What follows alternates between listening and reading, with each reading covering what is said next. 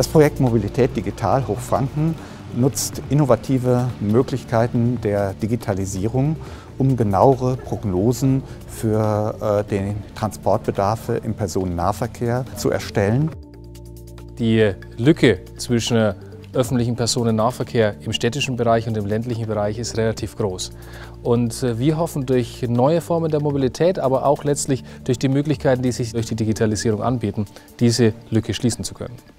Unsere interessanteste Datenquelle sind Bewegungsprofile. Wie bewegen sich die Menschen tatsächlich in dieser Region?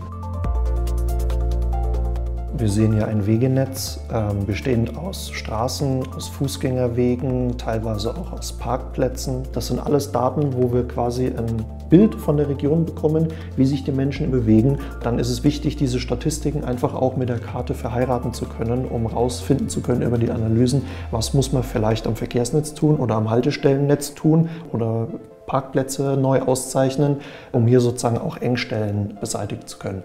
Ein wichtiger Baustein innerhalb dieses Projekts ist die Entwicklung einer sogenannten Moby-Dick-App, die den Bürgern nicht nur ermöglicht, vorhandene Dienste in Anspruch zu nehmen, sondern die es auch ermöglicht, durchaus auch Transportwünsche zu formulieren, so dass man vielleicht aus der Menge dieser Transportwünsche äh, entsprechende Dienstleistungen anbieten kann.